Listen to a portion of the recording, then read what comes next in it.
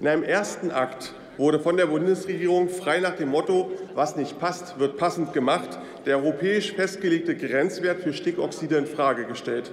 Wenn man 25 Prozent drüber liegt, na, das dürfe doch keine Konsequenzen haben. Dabei wurde der Bundesregierung, von der Bundesregierung dieser Grenzwert selbst auch mit beschlossen. Ziemlich irre. In einem zweiten Akt hat sich das Bundesverkehrsministerium dazu entschieden, die deutsche Umwelthilfe mundtot machen zu wollen.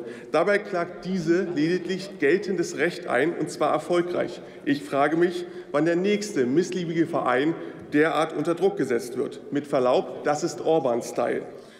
Und ich sage es mal so, der jetzt nachgebesserte Entwurf ist ein bisschen weniger schlecht als der erste Versuch. Viele praktische Fragen bleiben nämlich offen. Wie sollen Fahrzeuge mit ausländischen oder gefälschten Kennzeichen kontrolliert werden? Wer entwickelt eigentlich die notwendigen Überwachungssäulen?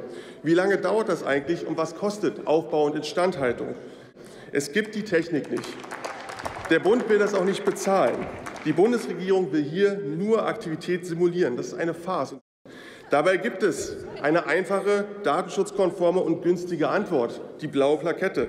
Wie bei der grünen Plakette kann man da allgemeine Verkehrskontrolle machen, man kann im ruhenden Verkehr kontrollieren. Das ist eine sinnvolle Lösung. Aber statt sich diese, statt sich diese einfache Lösung statt sich auf diese einfache Lösung einzulassen, schaffen Sie lieber überkomplexe und teure Regelungen mit Ausnahmen von Ausnahmen für Ausnahmen.